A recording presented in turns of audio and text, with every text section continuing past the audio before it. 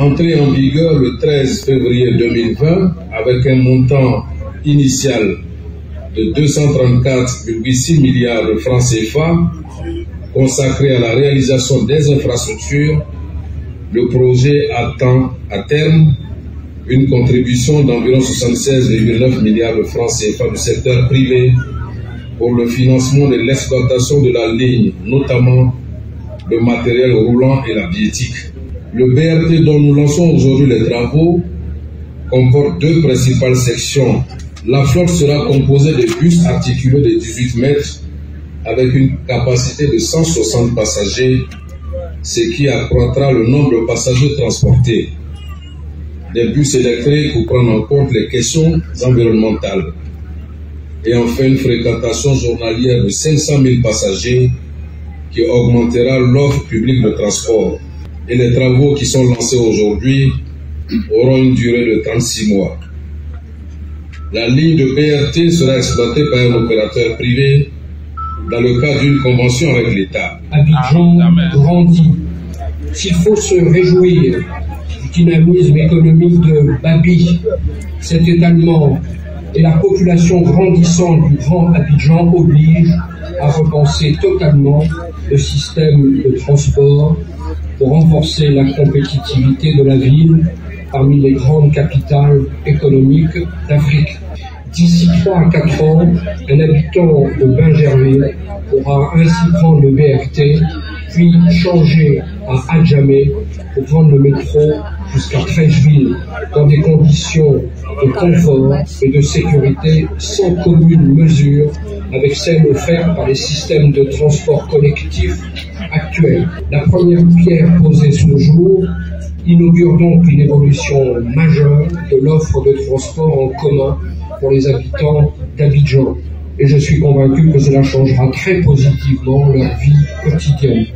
À ce jour, les, les estimations tablent, si l'on en croit les experts, sur 300 000 usagers. Mais je viens de voir dans le film, en fait, 500 000 qui devraient emprunter chaque jour ce nouveau mode de transport et qui verront leur vie quotidienne facilitée par le BRT. Avec une population qui devrait atteindre au moins 6 millions d'habitants d'ici 2030, Abidjan a besoin d'un système de transport robuste, capable de répondre à la demande de plus en plus croissante. Et le BRT que nous finançons aura un impact économique majeur pour les Abidjanais. Le BRT aura aussi un impact significatif sur le climat en permettant d'éviter plus d'un million de tonnes de CO2 au cours des 20 prochaines années grâce à sa flotte de bus électriques. Ce projet fait partie du vaste programme que le groupe de la Banque mondiale finance pour appuyer le développement de la Côte d'Ivoire avec un portefeuille actuel de près de 6 milliards de dollars et une trentaine de projets et programmes. Pour la ville d'Abidjan en particulier, ce sont environ 600 millions de dollars qui sont, consacrés à la mobilité. En effet, ces dernières années, la Côte d'Ivoire est devenue l'une des destinations privilégiées des investisseurs en Afrique.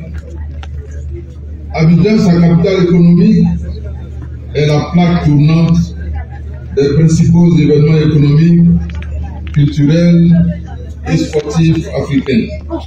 Ce projet de BRT est le fruit d'une collaboration étroite entre le gouvernement ivoirien, nos partenaires internationaux et le secteur privé.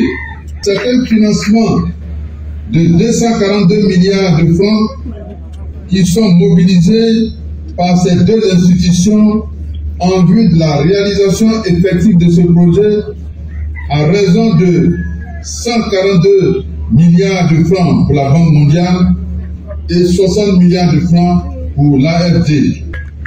Je vous assure, chers usagers, que nous mettrons tout en œuvre pour minimiser les désagréments pendant la période de construction et pour vous tenir informés de l'évolution des travaux. La construction de la ligne 1 du métro d'Abidjan, les corridors de BRT en préparation, ainsi que le développement du transport lagunaire sont des exemples concrets de notre détermination à faire de la mobilité non plus un obstacle, mais une opportunité. Abidjan évolue. Abidjan sera une très belle ville. Elle l'est déjà, mais sera encore plus belle. Ensemble, faisons de ce corridor BAT un modèle de réussite et d'excellence pour notre pays.